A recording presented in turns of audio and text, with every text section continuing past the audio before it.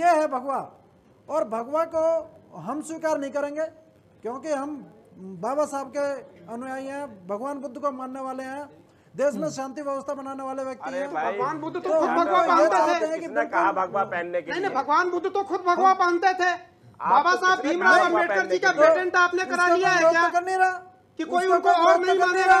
मैं बोलता हूँ मैं भी मानता हूँ बाबा साहब अंबेडकर को। क्या मैं कह रहे हैं? लाल रंग से रंगूँगा से भगवान का लोग पेटेंट करा लिया है। ये क्या चाहता है, ये विश्वास है।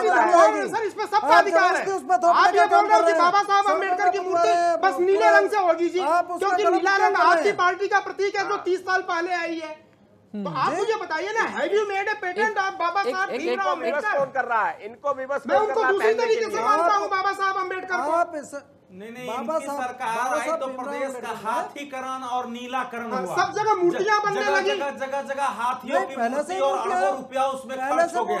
वो गलती नज़र तो नहीं आती है। हर घर में टिकनी कराने वाली और आपको देश का है, जानकारी होना चाहिए कि बौद्ध धर्म का एक बड़ा भाग आज भी नहीं है। सकता। अरे आज भी नहीं, नहीं हमेशा से पहनता है। उसमें श्वेतांबर भी है नीलांबर भी है लेकिन उसमें भी भगवा भगवा से- है। अच्छा एक बात बताइए।